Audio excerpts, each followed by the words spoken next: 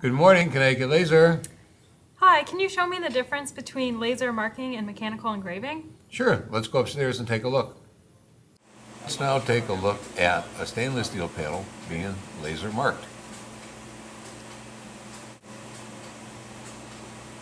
In this process, we are staining the material and not removing the material.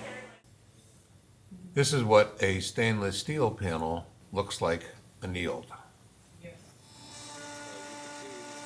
Let's now take a look at our CNC-controlled mechanical engraving machine. This process is used when you need to have your characters or your numbers engraved into the surface and not on the surface.